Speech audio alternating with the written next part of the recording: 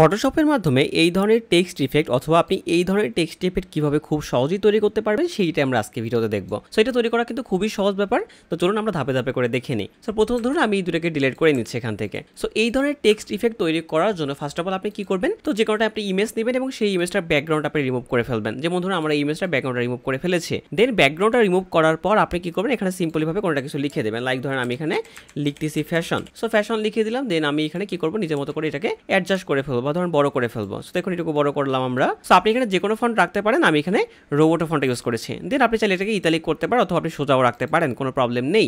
দেন আপনি কি করবেন দেখুন, এই যে লেয়ার সেকশন বা আপনি যেটা কপি করলেন, সেটাকে আপনি কন্ট্রোল জে প্রেস করে ডুপ্লিকেট করবেন এবং এইটাকে আপনি এটার নিচে নিয়ে যাবেন।